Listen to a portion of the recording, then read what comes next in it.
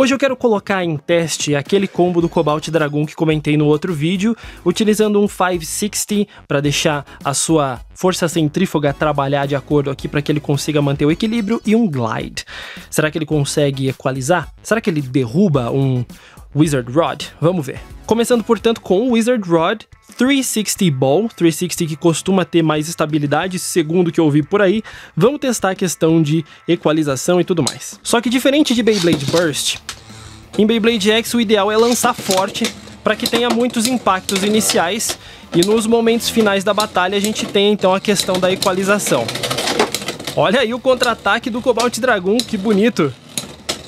E aí, conforme os Beyblades vão desacelerando, a ideia é que o Glide dê mais suporte ao Cobalt Dragon e faça com que ele consiga aguentar mais tempo girando. Então a equalização aqui está funcionando de uma maneira que você lance forte para tentar um knockout ou extreme finish no primeiro momento.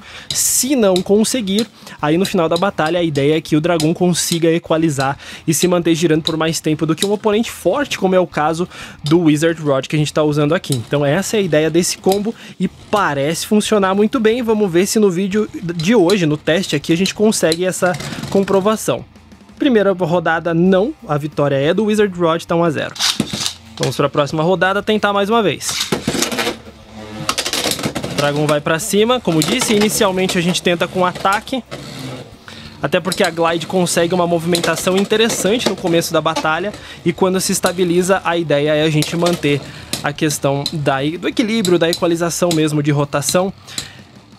Só que o único problema que vejo no Cobalt Dragon para esse tipo de combo é o seu desequilíbrio. Se ele fosse uma Blade um pouco mais equilibrada, quem sabe ele conseguisse uma performance de equalização melhor para esses momentos finais da batalha.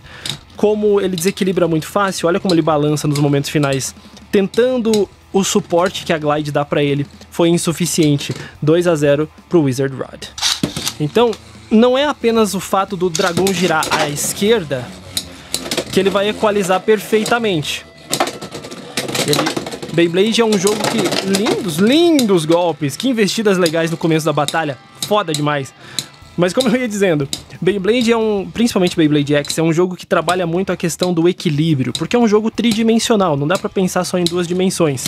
Então, quando a gente tem a estabilidade de um Wizard Rod, por exemplo, que trabalha muito bem com essa questão do equilíbrio de rotação, ainda mais num combo desses aprimorado para que ele aguente mais tempo girando, ele consegue bons resultados mesmo que o Dragon dessa vez tenha contrariado o que eu tava falando, mas enfim, vocês conhecem os meus Beyblades. 2 a 1. Mas já tá provado que o Cobalt Dragon não é um combo 100% uau de equalização. Conseguiu um ataque muito lindo aqui no começo dessa batalha e tirou o Wizard Rod do centro ali pra gente ver o que, que vai acontecer daqui pra frente. Interessante a performance dele, ele tá no centro da arena muito equilibrado, Glide tá ajudando ele a manter o giro por um pouquinho mais de tempo, vamos ver se ele vai conseguir derrubar o Wizard Rod de novo depois desse começo explosivo que a gente teve aqui. O dragão começa a balançar um pouquinho mais, Aí o Wizard Rod também começa a balançar um pouco agora, vai depender do equilíbrio de cada um deles. Se o dragão consegue desestabilizar o Wizard Rod, agora sim, muito bom. Tá 2 a 2 Vamos ver se a gente consegue aqui um lance pro dragão jogar o Wizard Rod pra fora. Lancei ele super inclinado, pra ele pegar um ataque lindo. Ele consegue um Extreme Dash interessante, mas não o suficiente para jogar o Wizard Rod para fora, hein? Mais uma vez desequilibrando o oponente. Ele não conseguiu nem burst, nem over, nem nada do gênero. Vai ser mais uma batalha de resistência aqui pra gente ver o equilíbrio dos dois. É uma batalha que é um pouco mais demorada, exatamente pela parte técnica dela. Pessoalmente, eu não gosto muito desse tipo de batalha, mas é o que a gente costuma ver em competições, né? Combos super seguros. E aí, mais um ponto pro Wizard Rod, 3 a 2 Última chance do Dragon tentar jogar o Wizard Rod pra fora, vamos ver. Lançamento forte, contra-ataque do Wizard Rod. Dragon vai para cima, linda investida, pena que não achou ninguém no centro da arena com aquele Extreme Dash, senão teria sido um estrago para cima do Wizard Rod. Não foi o caso. Batalha segue aqui, provavelmente o Wizard Rod, que está aparentando mais rotação, já que não acelerou pela Extreme Line para gastar resistência, parece estar tá numa posição um pouco melhor. Dragon começa a balançar muito E eu diria que não, não é um combo muito bom para equalização, porque ele não tem tanto equilíbrio assim. Vitória do Wizard Rod. Vamos a uma pequena revanche, colocar aqui o Dragon contra o Leon Crash 760 Dot. Esse Leon Crash que eu gosto muito, a interação desses dois é muito agradável. E aí o Dragon consegue um lindo impacto e um overfinish marcando 2 a 0 Olha que porrada, cara. Dragon mandou bem demais nesse round. Assim que é bom. Impactos fortes. Dragon vai pra cima do Leon Crash de novo. O Leon Crash sofre um pouquinho ali. Logo os dois se estabilizam no centro da arena. Vão começar a brigar para ver quem vai ficar ali no centro. Dragon com uma chance boa de uma equalização não tão eficiente assim, mas ainda assim ele consegue manter o seu giro, especialmente considerando que ele encosta muito no plástico do Leon Crest. Derrubando o Leon Crest, e assim como no outro vídeo que a gente testou, o Leon Crest raspa fácil, perde o equilíbrio e tá 3 a 0. É legal como o resultado dessa batalha é bastante consistente, né? Dragon, pensei que ia pegar um Extreme Dash ali, não foi o caso. Vai pra cima, quase consegue um over. Que lindos esses golpes. Mais uma vez, uma pequena parte de equalização aqui na batalha depois de um caos no começo. Leon Crash vai caindo, exatamente por questão de desequilíbrio aí. Parece que vai ter um resultado semelhante, exato. Cobalt Dragon é o vencedor. E vamos testar contra o Drunbuster Stock só pra ver? Porque eu quero ver o quanto de pancada o Cobalt Dragon aguenta. Principalmente se considerar um Drunbuster. Gunbuster vai pra cima. Uau, quase um Extreme Finish. Errou o Extreme Dash ali, uma pena. Parece que vai ser um ponto do Cobalt Dragon agora, porque obviamente ele tem muito mais resistência.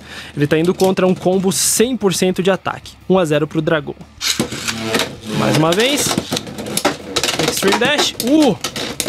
Olha aí que lindo Extreme Dash resultando num Overfinish. Drumbuster é espetacular quando acerta o oponente bem. E esse foi um caso. Bora lá. Drumbuster. Uau, quase vai para Extreme Dash. Quase é jogado por Extreme Finish. Dragon desequilibra muito. Drumbuster tá ali no centro da arena, numa posição muito estranha. Mas ele uh, derruba na... Tá, ok. Derruba na resistência. Tá bom, 3x1. Não entendi muito bem aquela postura do Drumbuster ali, não. Lancei ele inclinado, hein? Olha aí que porrada. Vai pra cima. Oh, o Drumbuster quase é jogado pra overfinish ali. Cobalt Dragon no centro da arena. Vai ser um problema agora, hein? Drumbuster tem pouquíssima resistência, não vai ser muito bom pra ele. Vai ser ponto do Cobalt Dragon, provavelmente. 3 a 2 Que batalha interessante, cara. Uou, quase vai pra overfinish ali o Drumbuster, hein? Fez um reverse maravilhoso. Dá mais alguns ataques pra cima do Cobalt Dragon, mas não vai dar na resistência não, hein? É, aparentemente aí nós vamos ter um 3 a 3 Resistência do Drumbuster é muito baixa, apesar de ele estar tá equalizando claramente, mas Dragon vence, 3 a 3 Agora é pra decidir. Drumbuster vai pra cima. Lindos golpes, quase consegue um Extreme Finish, mas Drumbuster não aguentou, pulou um monte ali, hein? Que é isso? Cobalt Dragon se provando ser um excelente tipo resistência aguentando os impactos. Que batalha foda. No fim, Cobalt Dragon se dá bem. Eu diria que esse é um combo um pouco mais defensivo, embora o tipo dele seja resistência. Ele não consegue equalizar muito bem, como a gente viu na primeira batalha, mas ele tem uma sustentabilidade muito boa, aguenta impactos muito bem e dá excelentes contra-ataques. Eu gostei de testar esse combo. Espero que você tenha curtido também. Não esquece de deixar um gostei e se inscrever para vídeos todos os dias. Até mais.